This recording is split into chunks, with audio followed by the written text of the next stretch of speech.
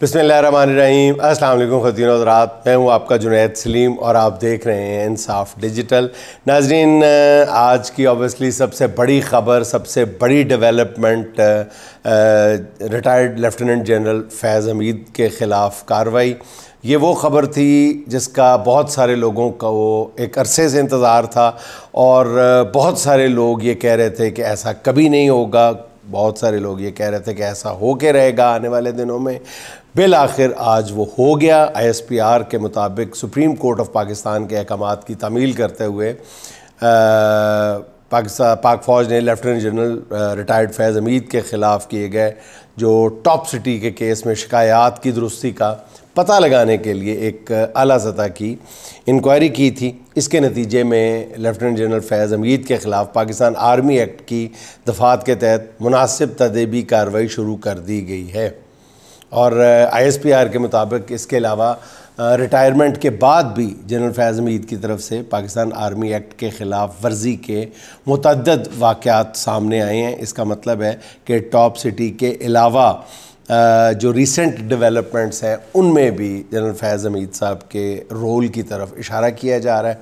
और अब उनके ख़िलाफ़ फ़ील्ड जनरल कोर्ट मार्शल का अमल शुरू कर दिया गया और लेफ्टिनेंट जनरल फैज़ हमीद को फ़ौजी तहवील में भी ले लिया गया मैं समझता हूँ कि फ़ौज के एक कहा जाता है फ़ौज के बारे में हमेशा से कि उसके अंदरूनी सिस्टम जो एहतसाब का है, वो बड़ा उसका कड़ा में आ रहा है। तो उसकी ताज़ा तरीन मिसाल जो है, वो ऑब्वियसली आज सामने आई है। और इस मामले को पर तहरीक इंसाफ का रद्द अमल भी सामने आया है। ऑफिशियल रद्द अमल ही कहा जा सकता है और उनका ये कहना है कि ये फ़ौज का अंदरूनी मामला है और फ़ौज का अपना एक स्ट्रक्चर बना हुआ है। आ, वो जिसको जैसे करना चाहें कर सकते हैं ठीक है? आ, मेरे ख़्याल में ये पीटीआई का एक नपा तोला और आ, समझदारी वाला रद्द अमल था। लेकिन नून लीग की तरफ़ से बल्कि नून लीग के दो रहनुमाओं की तरफ़ से जिस तरह का रद्द अमल सामने आया है और ख़ुशी का इजहार भी किया गया है और बिल्कुल ऐसा रद्द अमल सामने आया है जैसे इन्हीं दो लोगों ने ये फ़ैसला किया है और इनको लम्हे लम्हे की रिपोर्ट थी। एक तो राना सनाउल्ला साहब और एक मियाँ जावेद लतीफ़ साहब। इन दोनों ने जिस तरह मतलब तम तराक के साथ अपना रद्द अमल दिया है, वो मेरे लिए बहुत बायस हैरत है।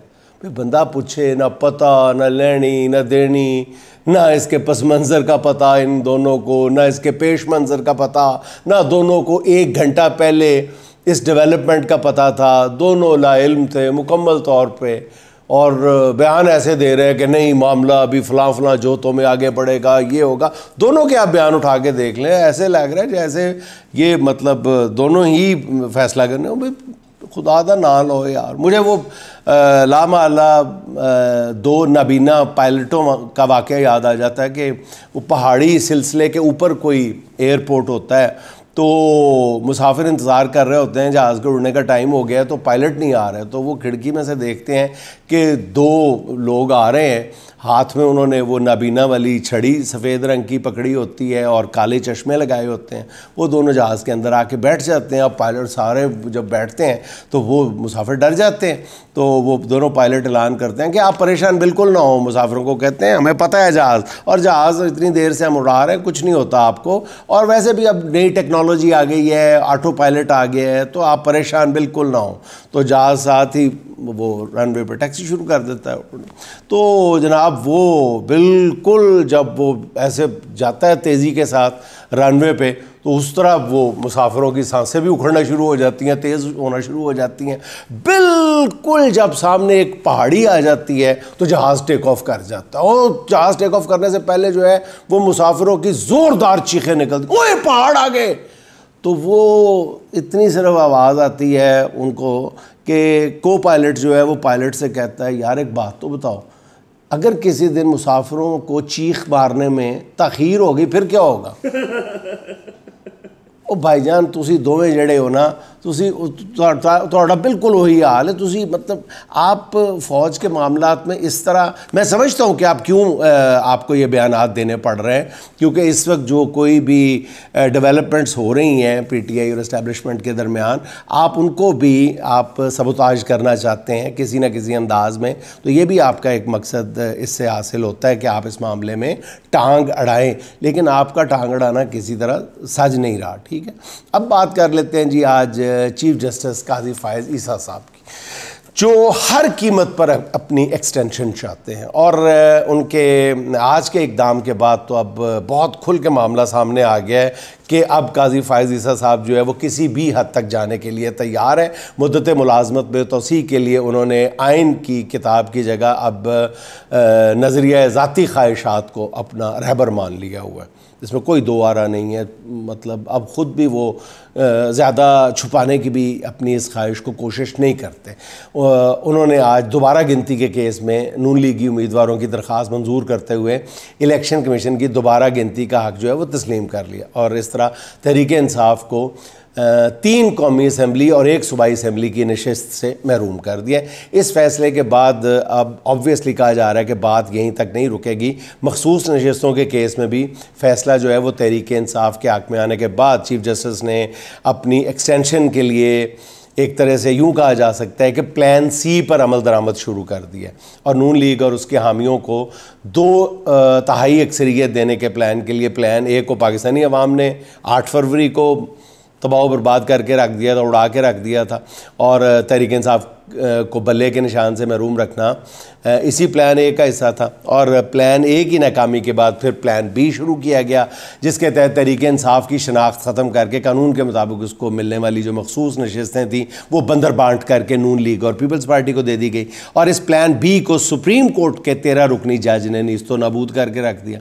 और फिर पी टी आई को पार्लिमानी जमात डिक्लेयर करके मखसूस नशस्तें उसे देने का फैसला दे दिया गया। अच्छा प्लान बी नाकाम होने के बाद हकूमती हरकारों के असल में हाथ पाँव फूल गए। जिस पर उन्होंने फिर इसी फैसले को मानने से इनकार कर दिया और इसके ख़िलाफ़ इलेक्शन तरमीमी एक्ट मंजूर किया गया। अच्छा इस बिल की मंजूरी भी मंजूरी में हुकूमत और काजी साहब के काम नहीं आ रही थी, बिल की मंजूरी भी।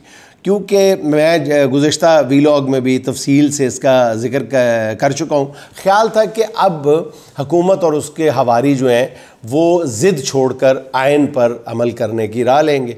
लेकिन आज काई साहब ने फ़ैसला देकर अपनी एक्सटेंशन की उम्मीद जो है, उसकी फिर से एक छोटी सी जोत जगा दी है। और अमली तौर पे जैसे मैंने अर्ज़ किया प्लान सी पर काम शुरू कर दिया नून लीग को आइनी तरमीम के लिए कौमी असम्बली में सोलह नशस्तें मज़ीद दरकार हैं। उनमें से तीन काजी साहब ने हकूमत को दे के आइनी तरमीम के इस कार खैर में अपना हिस्सा डाल लिया और इस वक्त कौमी असम्बली की नौ नशस्तें ऐसी हैं जिस पर इलेक्शन कमीशन ने दोबारा गिनती करा रखी है। यू, यानी कौमी असम्बली में तहरीक इंसाफ की मज़ीद छः नशस्तें भी किसी वक्त कम की जा सकती हैं। इसके बाद हुकूमत को आइनी तरमीम के लिए सात मज़ीद नशस्तें दरकार होंगी। और वो भी मज़ीद सात नशस्तों पर दोबारा गिनती की दरख्वास्त देकर हासिल की जा सकती हैं। थोरेटिकली देखा जाए तो। चाहे बाद में नज़रसानी के केस में ये नशस्तें वापस तहरीक इंसाफ को मिल जाएँ क्योंकि नून लीग को ये जो आ, खेलन को मांगे, चाँद ये खेलने को ये जो दो तहाई अक्सरीत चाहिए, ये सिर्फ़ दो तीन दिन के लिए ही चाहिए, जिसमें वो आइनी तरमीम करना, जिस मुद्दत में वो आइनी तरमीम कराना चाहती है, चाहे उसके बाद दोबारा सादा अक्सरीत पर वो आ जाए या खेल ही लपेट दिया जाए। इस सारे खेल में नाजरीन, मैं आपको एक बात बता दूँ। मैं पहले दिन से ये बात अर्ज़ कर रहा हूँ और बहुत सारे मेरे जो अखबार नवीस दोस्त हैं, वो इससे बिल्कुल मुख्तलिफ़ बात करते हैं, बल्कि तमाम लोग ही। कि नवाज़ शरीफ साहब मायूस हैं और वो बिल्कुल कोने में पड़े हुए हैं और इस सारे सिस्टम पर जल कुड़ रहे हैं। बिल्कुल ऐसा नहीं है। बिल्कुल ऐसा नहीं है। नवाज़ शरीफ साहब इस डर्टी गेम में पूरी तरह हिस्सेदार हैं, इस गंदे खेल में। अब इस खेल में काजी साहब और नवाज़ शरीफ साहब ने लीडिंग रोल जो है वो अपने ज़िम्मे ले लिया है।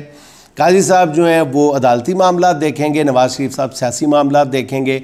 नवाज़ शरीफ साहब ने इस ज़मन में मौलाना फजलरहमान साहब से रबते शुरू कर दिए हैं। मौलाना फजलरहमान साहब को आ, से अब तक डेढ़ या दो डेढ़ या दो भी मैं वजात कर देता हूँ क्यों है। दो कॉल्स आप टेलीफोन कॉल समझ लें कि नवाज़ शरीफ साहब की हुई है। एक तो बड़ी तफसील से हुई है। उस तफसीली टेलीफोन कॉल में भी मौलाना फजल रहमान साहब ने कोई जवाब देने से इजतनाब बरता है इस मामले पर बल्कि इस मामले पे जो रिपोर्ट या अपने साथियों के साथ शेयर की है नवाज़ शरीफ साहब ने, वो ये की है कि मौलाना इस बा, इस मामले पे बात करने के लिए तैयार ही नहीं है। तो इसका मतलब है कि अब मैं ये नहीं कह रहा कि मौलाना फजल रहमान साहब रजामंद नहीं होंगे। उनके बारे में कुछ भी किसी वक्त भी कहा जा सकता है, सुना जा सकता है एक्सपेक्ट किया जा सकता है मौलाना से। लेकिन अभी तक मौलाना जो है शायद वो कोई ऐसी बड़ी शर्त रख दें जो इस्टेब्लिशमेंट के लिए या नून लीग के लिए या बाकी सारे स्टेक होल्डर्स हैं, उनके लिए मानना ज़रा मुश्किल हो जाए। लेकिन वो शर्त बड़ी ही रखेंगे अगर वो अपना वज़न जो है वो नून लीग के पलड़े में डालते हैं। अच्छा ना आप यह था कि काजी फायजा साहब ने सैंतालीस सफ़ात पर मुश्तमिल तफसीली फ़ैसला भी जारी कर दिया और दोबारा गिनती के हवाले से उन्होंने कहा कि आयन बिल्कुल वाज है, क्योंकि आर्टिकल पचानवे की सब क्लॉज पाँच के तहत कंसोलिडेशन, यानी आर ओ की जानब से रिज़ल्ट मुरतब होने के बाद इलेक्शन कमीशन दोबारा गिनती का इख्तियार नहीं होता इलेक्शन आर ओ चाहे तो इलेक्शन मुकम्मल होने के तीन रोज़ के अंदर दोबारा गिनती कराने का हुक्म दे सकता है। मगर इस केस में तो आर भी N A seventy nine N A eighty one और N A one fifty four में तहरीक इंसाफ के उम्मीदवारों की कामयाबी का नोटिफिकेशन जारी कर चुके थे। यानी इन तीन हलकों में भी नतीजा आने के बाद इलेक्शन कमीशन ने दोबारा गिनती कराई। रीकाउंट से पहले हाई कोर्ट से स्टे ऑर्डर के बावजूद ये गैर कानूनी अमल जारी रहा। और रीकाउंट के नाम पर तहरीक इंसाफ के 10 से पंद्रह हज़ार वोट मुस्रद करके नून लीग के उम्मीदवारों को जिताया गया। और सितम बलाए सितम ये कि ये रिकाउंटिंग के दौरान तहरीक इंसाफ के जीते हुए उम्मीदवार वहाँ पे मौजूद ही नहीं थे। कानून इलेक्शन का नतीजा आने के बाद इलेक्शन कमीशन का इख्तियार जो है वो ख़त्म हो जाता है और रिकाउंट समेत तमाम इख्तियार जो हैं वो इलेक्शन ट्रिब्यूनल के पास चले जाते हैं। इस लिहाज से काई साहब का फ़ैसला आइन और कानून से लगा खाता हुआ तो मुझे दूर दूर तक नज़र नहीं आ रहा।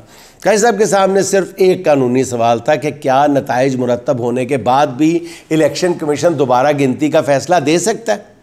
और चीफ जस्टिस साहब ने केस के मेरिट पर एक तरफा फ़ैसला दिया मेरी दानस्त में ख़ुद काजी साहब को भी अंदाज़ा है कि उनका फ़ैसला कानून और आयन से ही नहीं, अकल से भी मतसादम है। इसलिए तफसीली फ़ैसले में उन्होंने ख़ुद ही अपने फ़ैसले के जवाब भी तराशे हैं। उन्होंने लिखा है कि जी, आरोज़ का मौक़ है कि दीवारों पर तो लोग चढ़े हुए थे, ऐसे में दोबारा गिनती का हुक्म कैसे दे सकते थे? यानी आरोज़ ना तो दोबारा गिनती कराई आरोज़ ने, ना ही रिज़ल्ट रोका, बल्कि बकौल उनके हारे हुए उम्मीदवारों की कामयाबी का नोटिफिकेशन जारी कर दिया कि जी, दीवारों पर लोग चढ़े हुए थे, इसलिए हमने हारे हुए को जीता हुआ करार दे दिया। अजीब बात।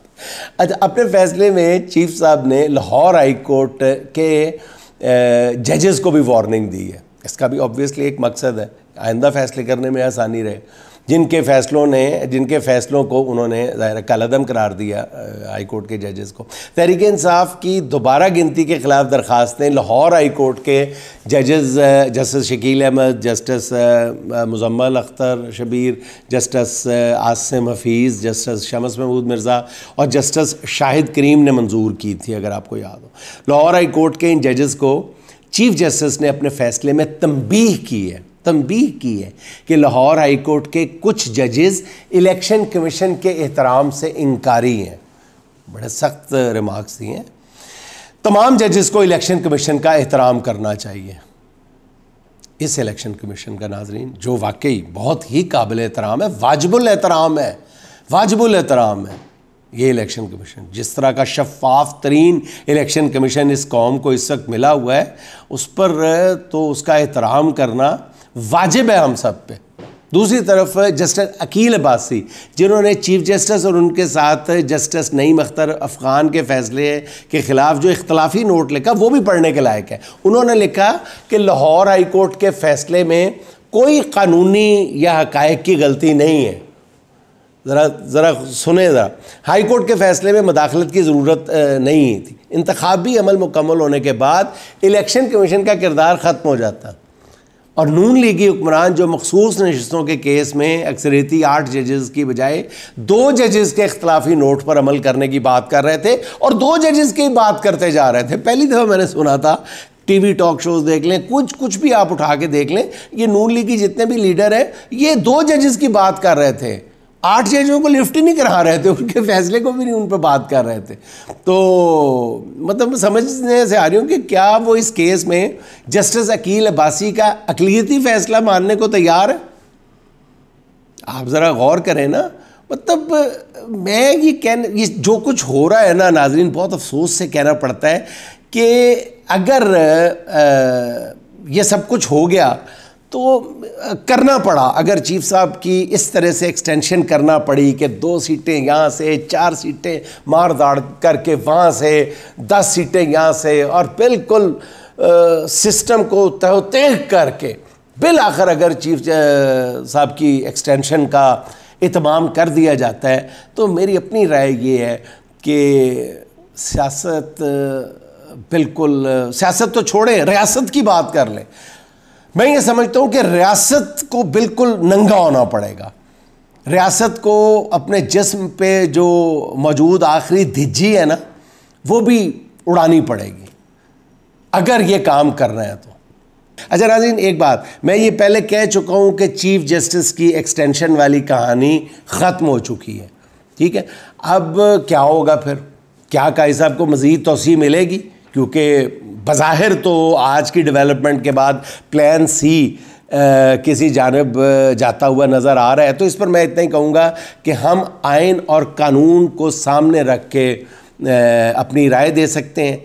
जब कोई ज़ाती मकासद के लिए आयन को घर की लौड़ी बना ले तो इसमें क्या तजिया किया जा सकता है? क्या बात कही जा सकती है यकीन के साथ? ये तो बिल्कुल ऐसे ही है ना कि टी ट्वेंटी मैच देखते हुए आप ये अंदाज़ा लगा सकते हैं ना कि मैच कौन जीतेगा। लेकिन अगर कोई टीम मैच की दूसरी इनिंग के उन्नीसवें ओवर में ज़बरदस्ती ये फैसला कर ले कि वो बीस नहीं, तीस ओवर खेलेगी तो ऐसे में फिर तजिया निगार कहाँ जाएँगे और उनका तजिया कहाँ जाएगा? लेकिन नाजरीन, मैं अभी भी आपको बता दूँ कि इस मामले में हनूज दिल्ली दूरस्त। अगर ये आज खान साहब ने भी, वो उसमें मैं बाद में आता हूँ, जो इशारा किया है, अगर इस तरफ़ जाने की कोशिश मज़ीद जारी रखी गई तो मेरा ख्याल है कि एक या दो स्टेप्स के बाद मुझे नहीं पता कि वकला की तंजीमें क्या रद्द अमल ज़ाहिर करेंगी। वकला बहुत खौफनाक रद्द अमल ज़ाहिर करेंगे। वकला ये तय कर बैठे हैं कि उन्होंने आयन के साथ इस खेलवाड़ को जारी नहीं रहने देना। मेरी बहुत सारे वकला से, वकला रहनुमाओं से नहीं बात हुई। मैं वकला वकला की बात कर रहा हूँ। वकला एक बड़ी तादाद में सड़कों पे होंगे। बड़ी तादाद में। और जब वकला इतनी बड़ी तादाद में सड़कों पे आ जाते हैं तो फिर चीफ जस्टिस साहब के लिए भी ये फ़ैसले और ये खेल जारी रखना इतना आसान नहीं होगा। अच्छा नाजीन अब बात थोड़ी सी हो जाए कैदी नंबर 804 की जिसने आज फिर अडयाला में साफ़ियों से गुफ्तु की है, बड़ी दबंग गुफ्तु की है, और मैं समझता हूँ कि ख़ान की आज की गुफ्तु में उस, उन्होंने अपना प्लान जो है, वो खुल कर सबके सामने रख दिया खान का कहना था कि हुकूमत ने अगर मखसूस नशस्तों का फ़ैसला ना माना तो चीफ जस्टिस को तोसी देने की कोशिश की तो हम भरपूर एहतजाज करेंगे। वही जो मैं बात पहले कर चुका हूँ कि अगर P T I civil society और सबसे बड़ी बात ये कि वतन अज़ीज़ के वकला, इन इस सारी खेल के जवाब में रद्द अमल के तौर पर सड़कों पर आ गए तो फिर हालात किसी के कंट्रोल में नहीं होंगे। और खान साहब ने यह भी कहा है कि मैंने कभी भी पार्टी को स्ट्रीट मूवमेंट का नहीं कहा। नौ मई से कबल एहतजाज की कॉल भी नहीं दी थी। अगर सुप्रीम कोर्ट के फैसले को ना माना गया तो फिर स्ट्रीट मूवमेंट शुरू करने लगाऊँ ये खान साहब का बयान है कि पहले मैंने स्ट्रीट मूवमेंट की कॉल कभी नहीं दी थी। हाँ अगर सुप्रीम कोर्ट के फैसले को ना माना गया तो फिर मैं स्ट्रीट मूवमेंट की कॉल दूँगा। और खान साहब ने भी कहा कि मैं समझ रहा था कि मुल्क की मीशत ख़राब है, इसलिए एहतजाज नहीं करना चाहिए इस कदर शदीद। लेकिन मौजूदा हुकूमत दो तहाई अक्सरियत को कायम करने के लिए आइन में तब्दीली करना चाह रही है, जो अब बच्चे बच्चा देख रहा है, ताकि दोबारा काजी फायज साहब को चीफ जस्टिस तैनात किया जा सके या बढ़ाई जा सके। खान साहब ने इससे आगे भी खबरदार करते हुए कहा है कि कौम इंतज़ार कर रही है, लावा पक चुका है, सिर्फ़ एक तीली की ज़रूरत है और सब तबाह हो जाएगा। ये जो मर्ज़ी कर लें पाकिस्तानी फ़ौज अवाम पर गोली नहीं चलाएगी। और मैं इनको ख़बरदार कर रहा हूँ कि खौफ का बुत टूट चुका है। अब लोग जेलों में जाने और जान देने के लिए तैयार हैं। खान साहब ने फिर, यानी एक बहुत, एक मज़े हुए लीडर की तरह गुफ्तु की है। एक सोच समझ के, तदब्बर और होशमंदी के साथ अपना बयान दिया है। अपनी पॉलिसी लाइन उन्होंने दी है। खान साहब ने कहा कि हमारे हालात बांग्लादेश से भी ज़्यादा बुरे हैं। हसीना वाजिद ने आर्मी चीफ चीफ जस्टिस और पुलिस चीफ्स अपने लगाए हुए थे और तमाम अपोजिशन को दीवार से लगाया हुआ था। ये सारी चीज़ें पाकिस्तान में भी हो रही हैं और उन्होंने कहा कि इलेक्शन से पहले 9 मई के नाम पर हमारी पार्टी पर क्रैकडाउन किया गया, पूरी दुनिया ने देखा। जिन्होंने 9 मई की फुटेज चुराई, उन्होंने ही 9 मई किया और हमारी आधी लीडरशिप को पकड़ के जेलों में डाला गया, आधी लीडरशिप अंडरग्राउंड हो गई और बाकियों से वीगो डाले में डाल के उनको पार्टी छुड़वाई गई। खान साहब, आज कोई भी लगी लिपटी रखने के मूड में नज़र नहीं आ रहे थे। उन्होंने दो टोक अंदाज में कहा है कि चीफ जस्टिस और इलेक्शन कमीशन मिले हुए थे और उन्हें मुख्तर कुतों की पूरी सपोर्ट और हमायत और तईद हासिल थी। लेकिन 8 फरवरी को उनका सारा प्लान जो है वो चौपट हो गया। फिर उन्होंने कहा कि जुल्म के बावजूद इलेक्शन में हमारी पार्टी जीती है और इस वक्त पीटीआई के साथ नबे फ़ीसद अवाम है। और फिर उन्होंने कहा कि इस्टेब्लिशमेंट से ये बड़ी ज़बरदस्त बात की, खान साहब तवातर के साथ अब कह रहे हैं कि इस्टेब्लिशमेंट से रबते का सुनकर, हमारे रबते का सुनकर हुक्मरानों की कांपें टांग जाती हैं। ये अब वो मुसलसल कह रहे हैं। और ये बात दुरुस्त है। जैसे पहले क्या उन दोनों हजरात की जो रद्द अमल है ना जल फैज़ के उस पर वो भी इसी सिलसिले की कड़ी है कि ये कभी ये ये ना हो पाए। तो और खान साहब ने कहा कि हुकूमत ने अगर मखसूस नशस्तों का फ़ैसला ना माना और चीफ जस्टिस को एक्सटेंशन देने की कोशिश की तो फिर दमादम मस्कल अंदर होगा, भरपूर एहतजाज होगा। अच्छा नाजिन आज ना खान साहब की गुफ्तु से उनके तेवर भी साफ़ नज़र आ रहे थे। और मेरा ख्याल है कि चीज़ें अब बहुत तेज़ी के साथ हतमी मराहल की जानब बढ़ रही हैं। जो मर्ज़ी करके देख लें अब मेरी ज़ाती राय ये है कि इमरान खान को मज़ीद एक डेढ़ माह से ज़्यादा जेल में रखना कम बेश नामुमकिन हो गया है। ये बाज़ लोग जो आज जनरल फैज़ की गिरफ़्तारी को एक ख़ास रंग देने की कोशिश कर रहे हैं, जानबूझ के कह रहे हैं कि जनाब अब मज़ीद पता नहीं क्या कुछ होगा, ये सिर्फ़ अपना, ये सियासी जो बचूंगड़े हैं, ये अपना कद काट ऊँचा करने की कोशिश कर रहे हैं, उस फैसले पे खड़े हो के कभी अरशद नदीम की कामयाबी पे खड़े होके अपना कद ऊँचा करने की कोशिश करते हैं, और कभी जनरल फैज़ की हिरासत पर खड़े होके। तो लेकिन इनके पल्ले कुछ नहीं रहेगा और कुछ नहीं है। तो नाजीन आखिर में एक छोटा सा शेर सुन लें आप। हर कदम पर कोई दीवार खड़ी होनी थी। हर कदम पर कोई दीवार खड़ी होनी थी। मैं बड़ा था मेरी मुश्किल भी बड़ी होनी थी। मैं बड़ा था मेरी मुश्किल भी बड़ी होनी थी। और क्या होना था दरवाजे से बाहर मंसूर? और क्या होना था दरवाजे से बाहर मंसूर? दिन रखा होना था या रात पड़ी होनी थी? क्या कहने क्या दिन रखा होना था या रात पड़ी होनी थी? नाजीन आपसे मुलाकात होगी इंशाल्लाह अगले व्लॉग में। खुश रहें खुश रहें।